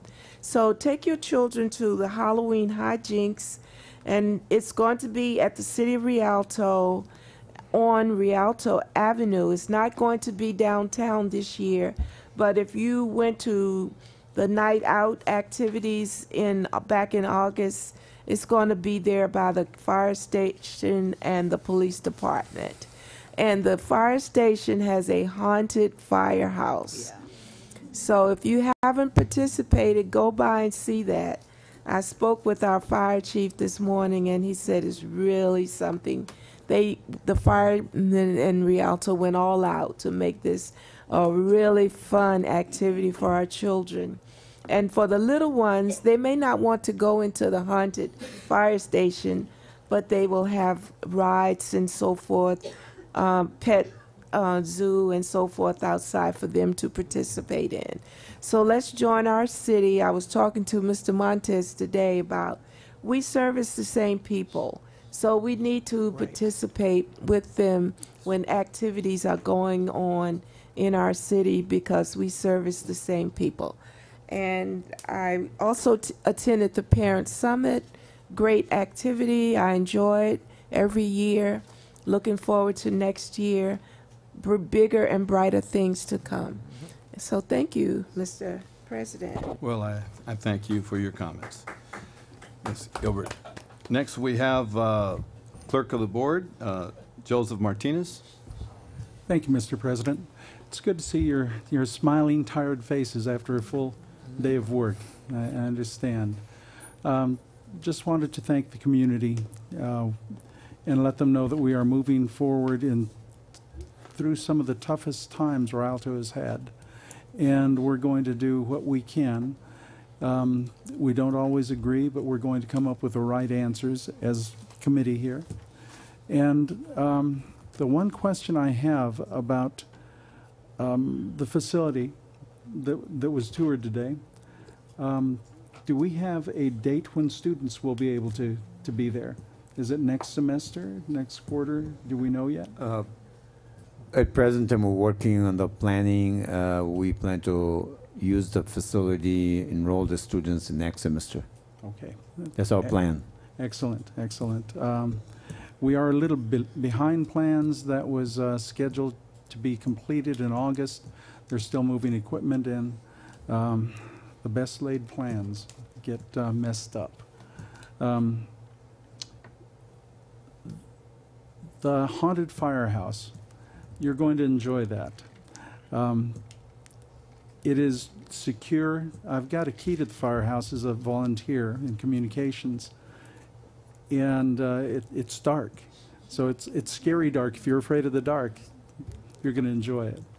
Um, also, I would like to thank Peggy Wheeler and the committee for getting um, the Engineering Academy and the Culinary Academy going. It's been a long four years since inception, and um, lest the committee thinks it happens overnight, because we'd love it to, it really doesn't.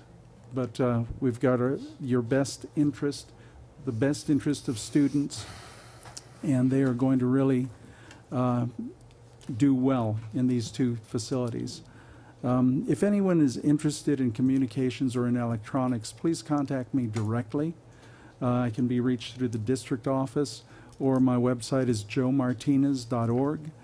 Um, I, I'm a ham radio operator, volunteer through the community with the fire department, and we are constantly looking for volunteers. I know most people um, are, most of the group is my age because everyone else is working or else they're interested in their cell phone and texting. Um, but the reality of it is, I, I got to thinking, how do you present something like this that really is technology that's been around since the turn of the a century ago? Um, well, electronics does not change much. The principles remain the same, and ham radio will teach you the, the principles of electronics. And I'd be willing to, to do, donate my time as I do so much um, to adults, to children, to, to elders. And, uh, you know, we, we need to make sure our community is safe and ready for, for anything. Thank you very much, Mr. President. Thank you for your comments. Next, we have Vice President of the Board, Edgar Montes. Thank you, uh, President Ayala. Um, good evening. Buenas noches. I, I um uh, I too was in attendance of today's tour, um, uh, joining uh, Mrs. Gilbert, uh, our board president, Mr. Ayala, and and uh, Mrs. Nancy O'Kelly. Um, I know um, some people couldn't make it, but it's okay. There's always next time. Um, uh, I, I do. I, I would like to extend an invitation to other uh, employees um, uh, that weren't able to make it today, or, um, or or even our city staff, if that's okay. Um, maybe if uh, people in the city would like to come and take a tour of the culinary uh, academy and, and engineering academy, it, it was beautiful. And um, since Miss Gilbert and, and Miss O'Kelly already spoke about it, I'm not going to talk too much about it. But um, I do want to thank uh, Mrs. Uh, Iris Chu, um, our uh, director of, uh, of facilities. I do want to thank Bill Ralph, uh, director of maintenance. Um, I do want to thank uh, our acting superintendent, Mr. Islam. I want to thank Mrs. Peggy Wheeler for um, giving us an awesome tour there at the Dolores Huerta Cesar Chavez um, Center. I want to thank Mrs. Foot from Carter High School and all her staff over there for uh, hosting us there. Um, and also, uh, I, I also uh, want to thank um, uh, the athletic director over at Gilbert. Mr. Gilbert. Mr. Gilbert. Over- Gilchrist. Gilbreth. Over at Rialto High School uh, for um, uh, giving us a, a, a lovely tour of the uh, new uh, football field and track and field over at Rialto High School. Um, those track and fields and football fields at Carter and at Rialto, they're awesome, and um, I can't wait to see it over at Eisenhower also. Um, but but when we walked on, when, when the board, and, and, and, and I also want to thank um, our Measure Y committee, oversight committee uh, members that were able to go to because they also joined in the tour. Um, and um, when we walked on to, when we first walked onto the field, um, the track and, and, and the field uh, turf over at Rialto High School, because it was the first one we toured, um, it, it felt like somebody, I, I think our board president said, it felt like walking on Dr. Scholl's Yeah. uh, footwear or something because you could just tell the difference from the concrete uh, stepping onto those floors. So um, we know that uh, our students are going to be, you know, uh, we saw them at Carter. They were using it. It wasn't being used at Rialto when we got there, but at Carter they were practicing football and running up and down the track, and um, they were zooming by. So uh, that was really good to see. Um, I, I, I do want to say that um, uh, for anyone who gets a chance to uh, uh, visit the uh, the academies, uh, the culinary arts and the engineering, it it you, you leave with an impression of like a university. I mean, they're awesome, uh, particularly the culinary arts. Um, they had every kind of uh, heavy duty industrial um, uh, cooking equipment there. I, I think our board president said the only thing they needed was a wooden oven. Um, to complete it uh, for those uh, fire fire uh, uh, grilled pizzas, but um, but um, uh, he did promise uh, to bake us some bread there though, because our board president's a good baker, um, and it, it. I was just really impressed. So I, I want to really thank again um, the community who, who approved the Measure Y um, for these types of things. For for you know, um, so uh, I, I really want to thank them, and, and I want to thank all the people involved in making it happen. All the people who built it, the people who were uh, overseeing the building, uh, our staff members. Uh, I think it's awesome, and and I just want to uh, uh, make it clear that um, I'm. I, I agree with our board president Ayala work completed should be work paid. Um, uh, and, and, and, and I share that um, same belief. But at the same time, um, I agree uh, with Ms. O'Kelly that um, it, it, when, when something like this happens, when, when there's an error is made, um, I would just like to ask that we get the proof or a report, something that we can see so we can learn from it because that that will educate us as a board as to uh, you know what, what to watch out for, what to look for, and it's not mistrust. Uh, it's not so much mistrust or uh, you know or uh, us being upset with uh, anyone um, uh, regarding this issue, and um, and I don't mean you know I don't mean to put anyone on the spot, but if we ask a question, it's, it's in regards to what we're approving. And, and um, thank you, uh, Mr. Islam, for offering us uh, a detailed report so we could understand this thoroughly. Because it, it's hard to approve, you know, 1.4 million just off word of mouth. Um, and, and again, uh, a report would help us understand it. It'll help us grow. It'll help us learn and move forward. Um, so no offense taken to anyone uh, regarding that. Um, I do want to thank um, uh, our uh, Chief of Safety, uh, Mr. Leary, um, for always uh, making us feel, uh, you know, uh, safe here at our board meetings, and all of our safety officers and, and all of their staff um, and our safety department. Thank you very much for always being here Officer McNay, Officer uh, Rodriguez, and all the other officers that join in at our, uh, um, you know, bi-monthly meetings, um, bi-weekly meetings.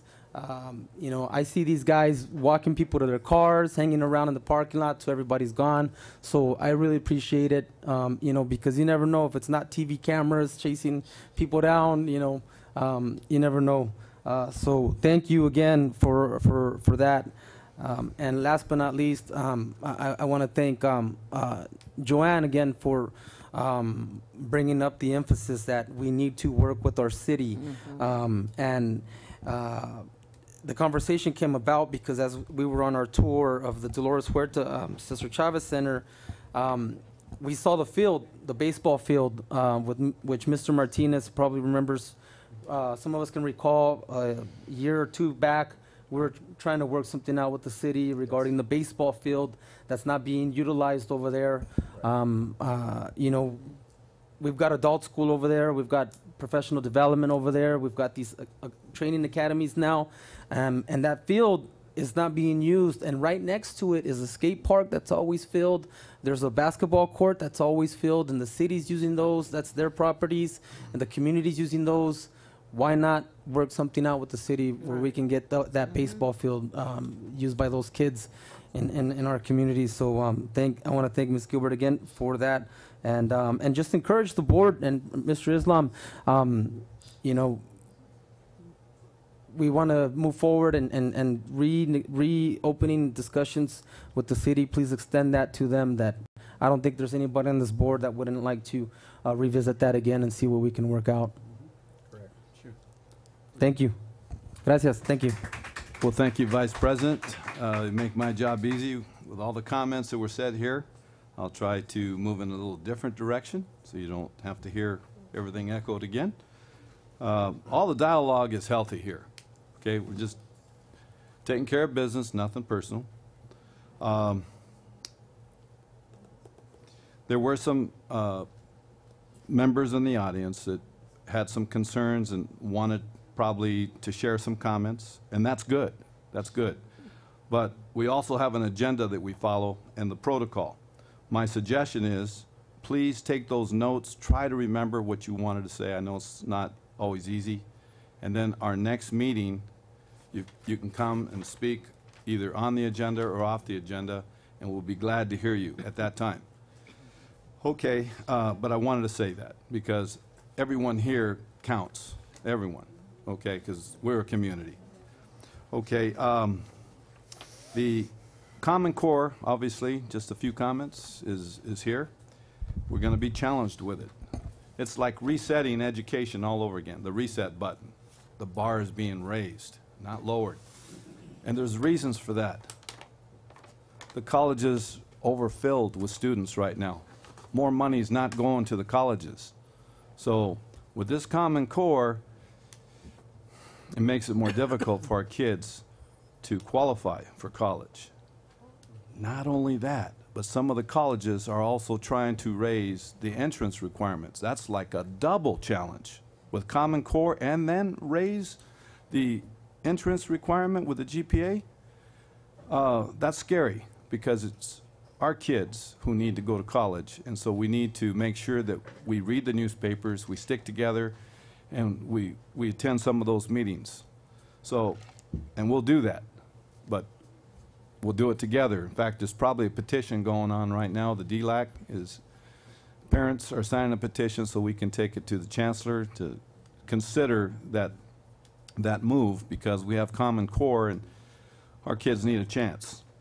Um, to echo a little bit about our visitation with the culinary arts, uh, Ms. Wheeler, that's excellent what I, what I saw over there. Uh, you have uh, equipment there that parallels none. I don't know of any institutions, any schools in this area that have what we have. Not only that, but the engineering department over there. You know, you have uh, computer nu- numerical com- computer machines, CNCs, computer numerical control, that uh, are going to help the kids apply the math that they're learning. This is high level learning. Okay? My word of caution, though, is this. Even though we have all this equipment and we have the, the culinary arts, we have to look for some superstars to guide our kids. And just to put things in perspective, one of the Dodger, I won't mention his name, one of the Dodger pitchers in three innings makes what the President of the United States makes all year in three innings. So, to get qualification, our heroes, our superheroes, they have to have a lot of experience. They're not going to work for minimum wage or, or starting salary of a teacher. We have to decide whether we want to recruit them. We get a couple superstars, we've got the foundation. Our kids, you're going to watch them on television someday coming back and saying, I got my start in Rialto. We are moving forward. I have proof right here.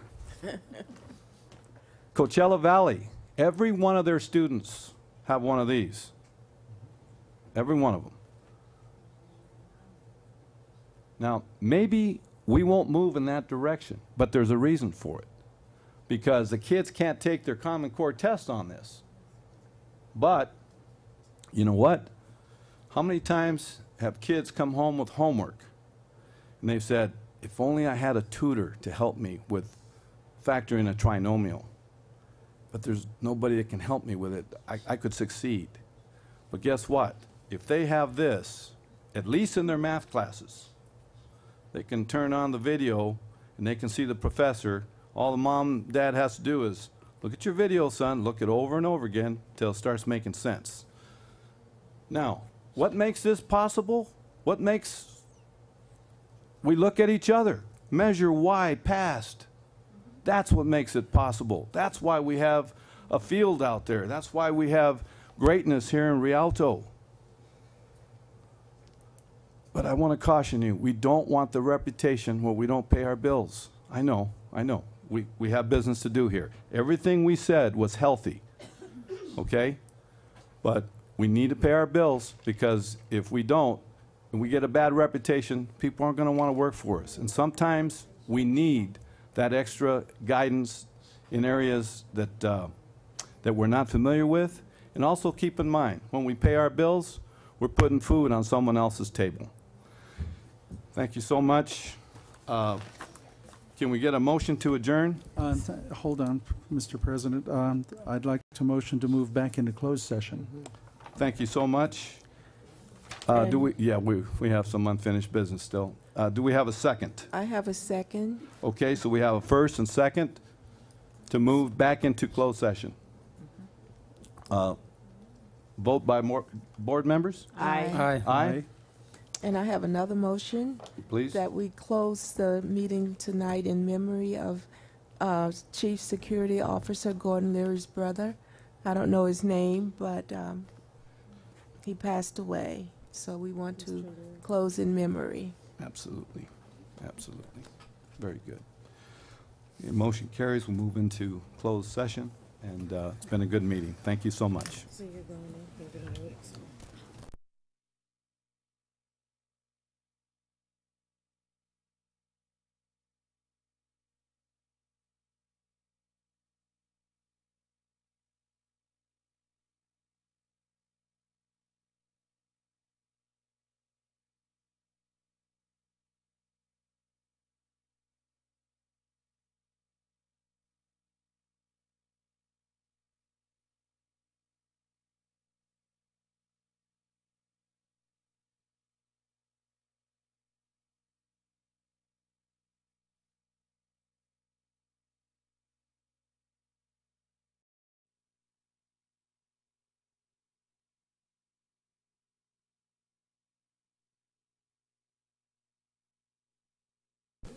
wait.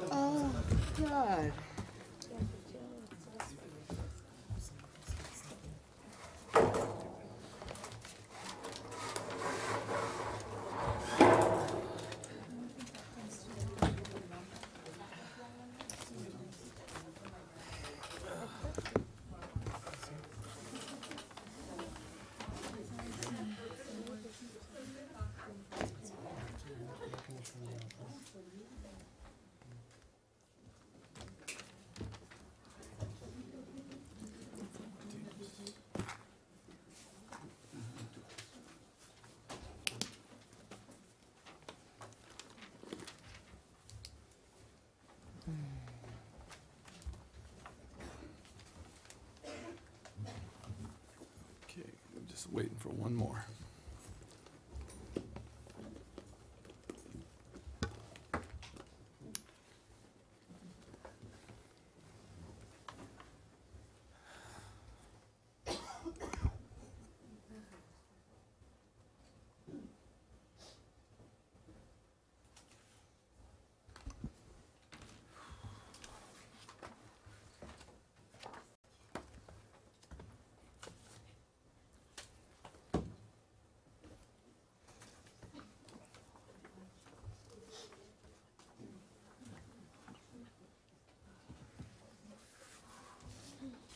meu bem, meu bem, meu bem, meu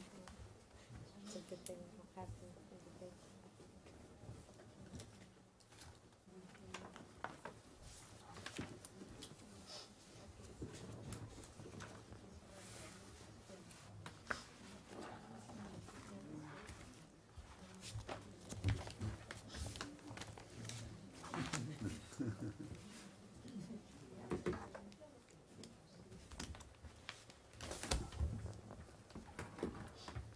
for waiting for me, Mr. President. Absolutely.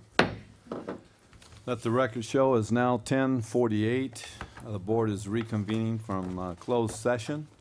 Mohammed, uh, would you, uh, you have something to report?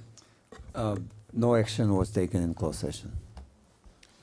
No action was taken, but uh, we want everybody to know we appreciate uh, everyone who's here. Uh, You know, we get to know each other as time progresses, and there's a lot of heart in this room. There's no, no doubt about it. And uh, uh, with that in mind, uh, we will continue to do our due diligence the best we can to provide you with the services that uh, we agreed to do. We may not agree at times, but the decisions we make are in the best interests of everyone here, our students and our community, our staff. But with that in mind too, we need to probably close for the evening. Do we have a motion to adjourn?